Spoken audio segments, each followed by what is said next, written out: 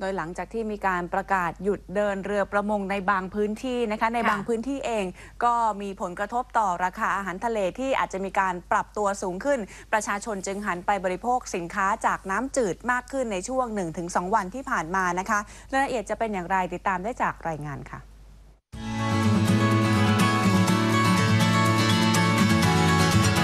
ลานิลเป็นสัตว์น้ำสำคัญที่ผู้บริโภคจะซื้อไปประกอบรับประทานอาหาร และบางส่วนจะนำไปขายต่อ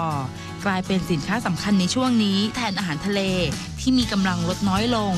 เพราะชาวประมงจำนวนมากที่ยังไม่ทำให้ถูกกฎหมายหยุดจับสัตว์น้ำแม่ค้าปลาน้ำจืดในตลาดเกษตรสุวพันธ์เมืองทอง จังหวัดอ่างทอง แหล่งค้าปลาน้ำจืดที่ใหญ่ที่สุดในภาคกลาง เปิดเผยว่า ปลาน้ำจืดเริ่มได้รับความนิยมมากขึ้นในช่วง 1-2 วันที่ผ่านมา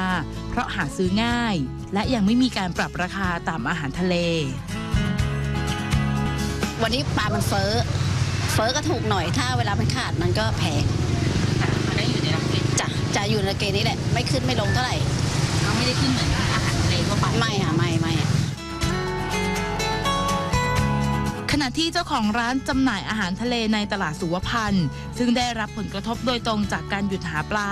และสัตว์น้ำจากทะเล หลังจากนี้ยอมรับว่า อาจจะมีการปรับราคาจำหน่ายสินค้าบ้างแต่ไม่มาก เพราะปริมาณสัตว์น้ำที่ลดลง และต้องคำนึงถึงผลกระทบผู้บริโภค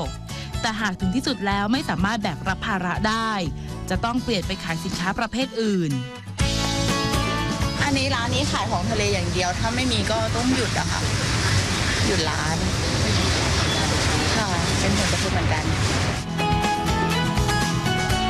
การเร่งปรับตัวหรือทำให้ถูกกฎหมายการค้าประมง คือแนวทางที่รัฐบาลวางไว้ เพื่อให้ผู้ประกอบการผิดกฎหมายเข้าสู่กระบวนการที่ถูกต้อง เพราะการทำประมงไม่เพียงแต่ในประเทศไทย แต่ยังมีการข้ามน่านน้ำไปยังประเทศเพื่อนบ้าน ซึ่งหากทำสำเร็จ ไม่เพียงแต่คุณภาพชีวิตที่ดีขึ้นของผู้ประกอบการประมง แต่ยังแก้ปัญหาให้กับประเทศไทย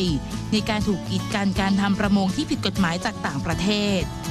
ยุทธนาภูธนากรถ่ายภาพ สุภัทราทองอิน รายงาน